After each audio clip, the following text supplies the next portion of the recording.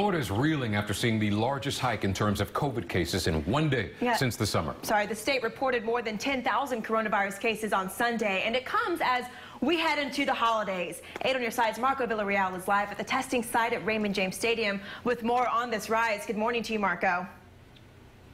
Hey, good morning, David and Avery. Yeah, over the past several weeks, we have seen those numbers slowly increase from three to four to 5,000 positive cases a day. And a lot of that testing has happened here at Raymond James Stadium, here at the testing site. But then over the weekend, all of a sudden, it nearly doubles. For those of us who went through things in the summer, it's very reminiscent. All right, so that's Dr. Kami Kim. She's the USF Director of Infectious Diseases and an attending physician at Tampa General Hospital. As the numbers spike, not just in Florida, but across the country, there are fears of new restrictions and hospitals hitting or nearing capacity.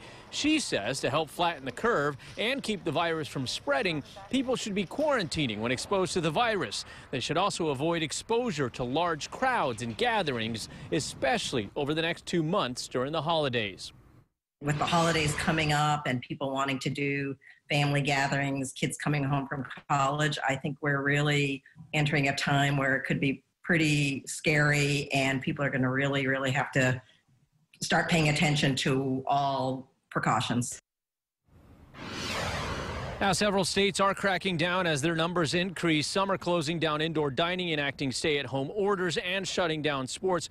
One medical expert said, as unpopular as this is, that if we don't change our Thanksgiving plans, we could be in for a very unmerry Christmas. By the way, Ray J testing site here opens at 8 o'clock. Reporting live, Marco Villarreal, 8 on your side.